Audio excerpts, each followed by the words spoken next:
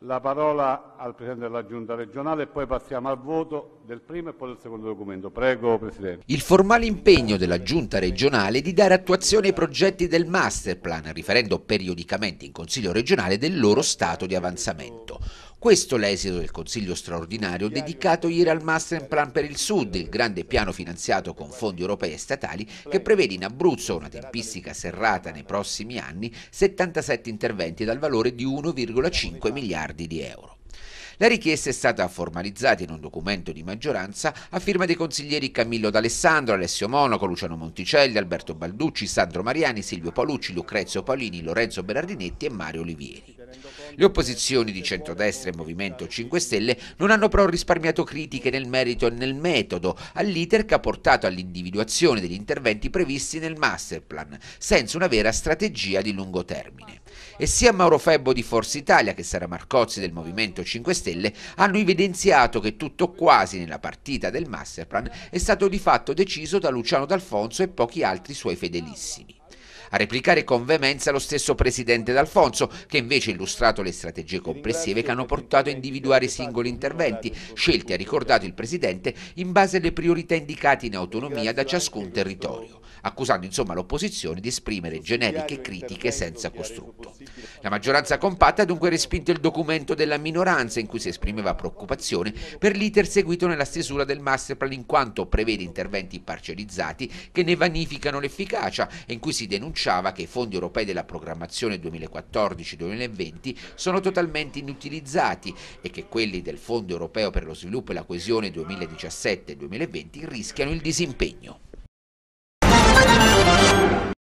Occhi puntati sulle aree interne, la regione Abruzzo ne è costituita per il 60%, aree che molto troppo spesso lamentano difficoltà e poca visibilità sui temi caldi come infrastrutture, sanità e impresa. Nasce così una specifica voce destinata a colmare questi vulnus che oggi ha visto a confronto sindacati, sindaci e istituzioni regionali. Noi dobbiamo fare in modo che in quella parte di territorio arrivino risorse che possano permettere uno sviluppo adeguato. Io ho detto prima al convegno e lo ripeto qui, eh, non ci può essere sviluppo di una collettività, sviluppo di un territorio, sviluppo di una regione se una parte di quella regione, una parte di quella collettività viene lasciata lì abbandonata. Noi dobbiamo fare in modo che quella parte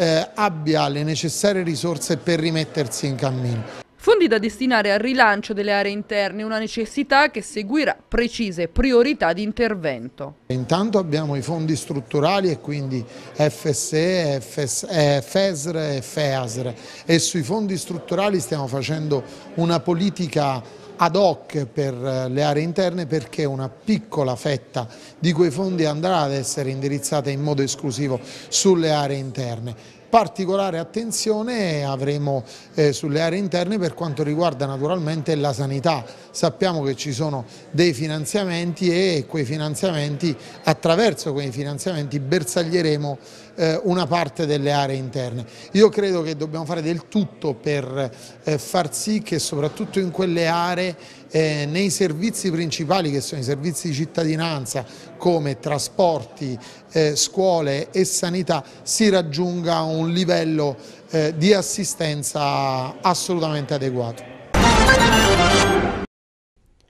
In tutte le aziende è cresciuta l'esigenza di una sempre maggiore tutela dell'incolumità delle risorse umane, del patrimonio aziendale e della riservatezza dei dati sensibili. In uno scenario in cui restano comunque preoccupanti i numeri relativi agli infortuni sul lavoro e aumenta per le aziende che operano nei mercati globali il rischio rappresentato dal terrorismo e dalla criminalità tutti aspetti di un unico problema a cui è stato dedicato un convegno nazionale all'auditorium della Guardia di Finanza all'Aquila, incentrato sulla strategia della sicurezza integrata, con la partecipazione dei massimi esperti nei settori della security, del safety aziendale e dell'intelligence, tra i quali anche il capo della polizia Franco Gabrielli, un ritorno per lui all'Aquila dove ha ricoperto l'incarico di prefetto nel difficile post-terremoto. Per Maurizio Ardingo del Consiglio nazionale dell'Associazione Professionale Italiana Ambiente e Sicurezza, la strategia da perseguire è quella di integrare e coordinare tutti gli aspetti relativi alla sicurezza. Con questo convegno ci aspettiamo che, che, che ci possa essere un'accelerazione, un'accelerazione che integri sinergicamente questi tre mondi, le figure del safety manager, del, del, del security manager, affinché la sicurezza sia globale, non solo nei luoghi di lavoro ma negli ambienti di vita. Facciamo un caso emblematico, io ho avuto l'anno passato la fortuna di essere il safety manager di Expo Milano 2015. Noi lì avevamo un'intelligence e una security che hanno funzionato, perché sostanzialmente eh, se noi non abbiamo avuto la bomba nel sito è perché loro sono stati bravi. Avevamo dei controlli ai varchi avevamo un'intelligence che funzionava, ma qualora avessero bucato l'intelligence era chiaro che noi safety eh, con le forze dell'ordine dovevamo comunque intervenire, tant'è che abbiamo mh, redatto 18 scenari emergenziali e li abbiamo testati tutti nel semestre di Milano. Questo è un modo sinergico di, di vedere la sicurezza globale a 360 gradi. Vorrei chiedere alla professoressa Marinelli, che ha fatto della Sindone una ragione di vita perché ha dedicato, Da più di 40 dirlo, anni studiosa della Sindone, Emanuela Marinelli sarà ospite all'Aquila sabato 24 settembre del convegno dal titolo Sacra Sindone, indagine moderna dell'antico mistero, che si svolgerà all'auditorium del Parco del Castello dalle ore 10. Il mio ruolo è soprattutto un ruolo di divulgazione, non ho fatto io scoperte mie eh, sulla Sindone, ma eh, è già un grossissimo lavoro far conoscere le scoperte degli altri, per questo ho scritto 17 libri, adesso sto scrivendo il mio diciottesimo libro e insieme a mio fratello ho aperto il primo sito internet sulla Sindone in Italia, che ormai esiste dal 97, ho aperto la prima pagina Facebook eh, sulla Sindone, Amici della Sindone, ecco, per far conoscere eh, questi studi che se no restano